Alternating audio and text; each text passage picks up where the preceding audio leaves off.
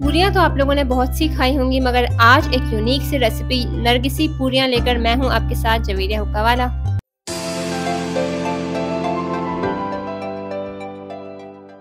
नरगिसी पूरियों के लिए हमें चाहिए two boiled eggs two boiled potatoes मैंने इसको पीसेस में कट कर लिया है। वन एंड हाफ़ कप मैदा है ये, और ये हाफ़ टी स्पून है जीरा और काली मिर्च। इन दोनों को मैंने हल्का सा ड्राई रोस्ट करके कूट लिया है। ये है सॉल्ट हाफ़ टेबल स्पून ये है बेकिंग सोडा पिंच ले लें आप, और ये है टू टेबल स्पून घी। दो मैं इसके अंदर ग्रीन चिलीज ऐड करूँगी, और तकरीबन two two three tablespoon के अंदर हरा धनिया जाएगा। हम आलूओं को मैश कर लेंगे। टू एग्स भी डाल रही हूँ मैं इसके अंदर ही, और इसको भी कर लूँगी मैश दो हरी मिर्चों को चॉप करके मैं इसके अंदर ऐड कर दूँगी मैंने एक ग्रीन चिली ली है, और उसको मैंने ऐड कर दिया इसमें जाएगा हरा धनिया, और हाफ़ टेबल स्पून के करीब सॉल्ट इसको अब हम अच्छी तरह मिक्स करेंगे। ये हमने इसको अच्छी तरह मिक्स कर लिया है। अब मैं मैदा छान लूँगी।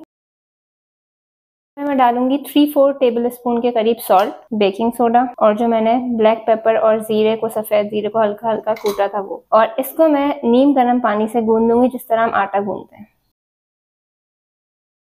अब मैं इसके अंदर घी डालूँगी। आप चाहें तो पहले भी ऐड कर सकते हैं। मेल्टेड घी लीजिएगा। मेरा मेल्टेड नहीं है।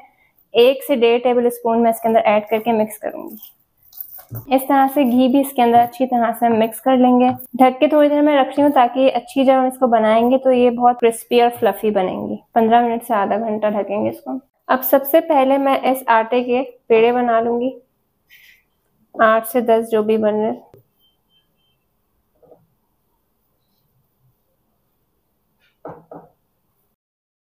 अब ये हमने एक पेड़ा लिया और ये मैंने खुश्क आटा लिया है, मैदा है खुश्क। अब मैं इसको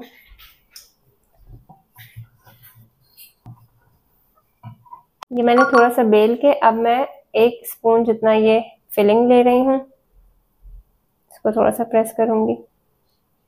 अब इसको मैं फोल्ड कर लूँगी हर तरफ़ से जैसे कि ये मैंने लिया।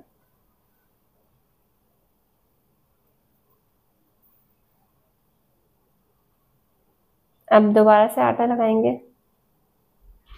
और इसको हल्के हाथों से बेलना है। अब क्योंकि ज़्यादा प्रेस करके बेलेंगे तो फिलिंग जो है वो बाहर निकल जाएगी। तो बिल्कुल स्लो हैंड से हम इसको जस्ट बेल लेंगे। थोड़ा सा मैं इसको हाथ से ऐसे बेलती रहूँगी। तेल मैंने गरम होने रख दिया था। अब हम इसके अंदर पूरियाँ ऐड करेंगे।